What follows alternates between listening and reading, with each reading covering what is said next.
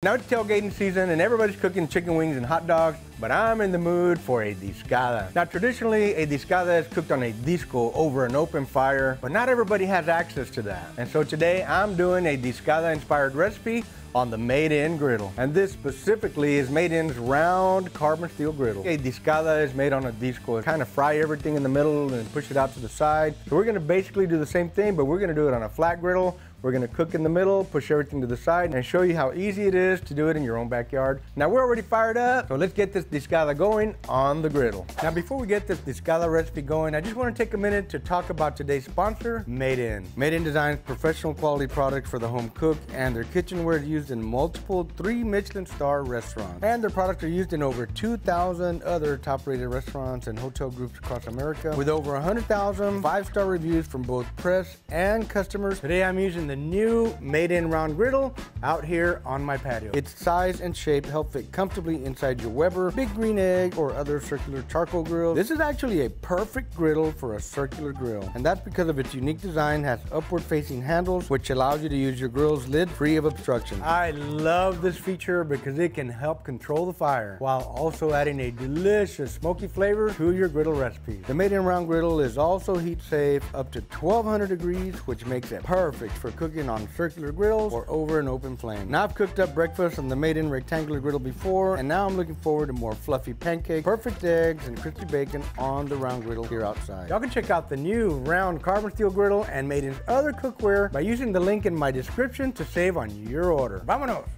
A disco is also known as a plow disc. Put a fire under it and do a bunch of cooking on it. Kind of like an outdoor frying pan. Now, my dad was one of the first inventors of the disco, at least in my mind. That was in the early 70s, might have been the late 60s, and I was a wee one. And he would cook outside. He would make all kinds of guisos and fried chicken and things like that. Thanks to technology in modern times, pretty much anybody can cook a discada in their backyard on a simple little grill. First things first, we always start with the meat. First meat going on the griddle is the bacon. The bacon takes a little little while to cook. We want to make sure it's cooked all the way through because it is pork. It also brings the grease to the griddle to make sure that you have enough oil on there to fry the other meat. This is actually a whole pack of bacon. We use like a medium cut because it cooks a little bit quicker and it doesn't take too long and it lets out just the right amount of oil. So we're gonna start letting this cook down right here. Gonna spread it out so it cooks nice and even. You want a nice hot griddle because meat nowadays always has a lot of water content in it so that heat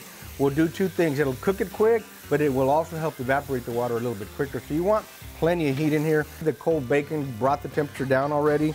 That's another reason why you want a hot griddle when you get started. We were at 480 when we got started. So let's get it cooking. Let's let it keep rolling. It's about 10.30 in the morning. I haven't even had breakfast. So this is actually gonna be a delicious brunch for us today. Oh, wait a minute. I did have a taco. You can see this bacon is pretty much halfway cooked, maybe three quarters. So the next thing you do on a discada, we're gonna push it out, make a nice little ring, and then we're gonna add the next meat. Now I made a pile of charcoal right in the center here, so most of my heat's gonna be concentrated right here in the middle where you're gonna add the meats. Next up is the chorizo. There we go. Can you hear the sizzle? Woo, baby. I love that sound. I'm spreading out this chorizo just so that it gets nice and evenly cooked. Look at that bacon sizzling all the way around. That's really, really nice. This chorizo does not take long. It's a sort of a lean chorizo. That's one of the reasons why we do the bacon first, because we need a little oil in here. All right, it's time to get the beef on. Today we're using inside skirts. There are the original fajita. Now, the discada traditionally has pork also. I've done it with pork steaks and pork chops and all kinds of stuff, but we're in Texas. We like beef, so I'm using a lot of fajitas here. And this is right at two pounds of fajitas. If Your griddle starts to get a little too hot. That means you got a little too much oxygen. Your fire is getting hot. You want to put your lid on, control your airflow. That will tame your fire down just right. All right, we're gonna season our fajitas and a little bit of wow. You use whatever you like. Y'all know this is mine. Now, be a little bit careful. Don't over season if you have a salty rub, because remember, the bacon has salt, the chorizo has salt. So don't overdo your seasoning. So I've got a little homemade chile piquin right here. I'm gonna shake a little bit of that on here. It's gonna be really, really good. We're gonna open a well up right here in the middle.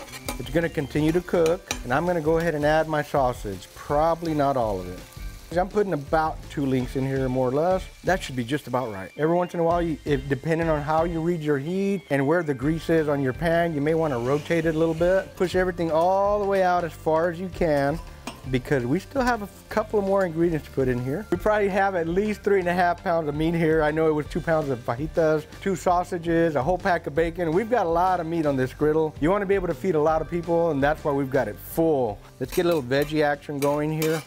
So we're gonna spread everything out. We're gonna create a well here in the middle again. We're gonna drop some onions here. Now this is the second part of the traditional discada. It's first the meat and then the veggies. So we've got the onion going here. We have some red bell pepper. We're gonna push the onion out to the edge a little bit, make another little well here again. We're gonna do the green bell peppers. Now you see how the onion cleaned up the patina on the griddle? All of that flavor is gonna get intermingled and incorporated into the entire dish here.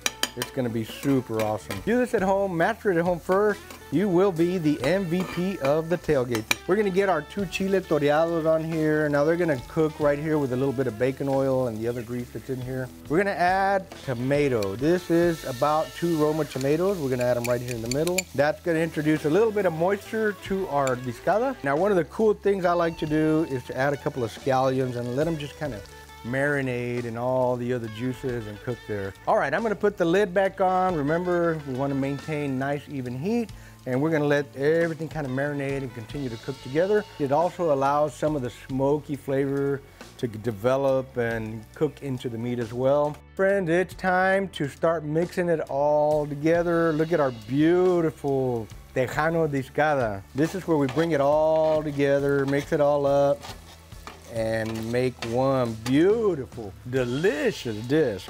Look at all those gorgeous colors. Tell me this isn't better than wings and hot dogs. Come on now. We're gonna squeeze a little bit of lime. This is a South Texas Tejano thing. Look at that. You hear that sizzle? That's pure deliciousness right there. The other thing we're gonna do, we're gonna add a little bit of cilantro on here and we're gonna stir that in too. Get that all mixed up. I'm ready to make me a delicious taco, but we're missing one more very key ingredient that is a tradition in all discadas. La cerveza. This is just to keep it all moist, adds a little bit of flavor. You're gonna keep this meat on the griddle normally and you're serving from the griddle. So you wanna keep a little bit of moisture there, keep the discada sort of kind of hydrated. Let's give it a final little stir here. Get that beer all incorporated in here. It's all fantastic. It is time to warm up a couple of tortillas. Traditionally, it's corn tortillas, so we're doing corn. Ooh, yeah, baby. One more, why not? This is just natural fat from the bacon and the beef, so it's all good. Don't be afraid to use oil, friends. You could always eat a salad tomorrow. yeah.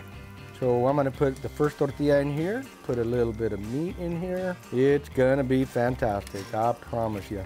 And of course, we gotta have a little bit of salsa. You can't have tacos without salsa, man. You gotta have some of this delicious homemade salsa. Besides the salsa, you also get a bite of jalapeno, a bite of onions, all together. Cheers, my friends. Mmm. Oh, baby.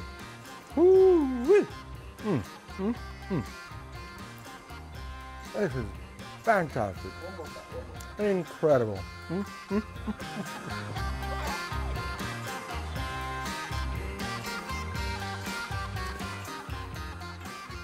Buddy wants to buy it. That was fantastic, man. Just incredible flavors, super delicious. Friend, this was so delicious. I highly encourage you to try this Discada inspired recipe on the Made in Griddle in your backyard. If y'all want to get some of my rubs, go to pitmaster.us. Boom!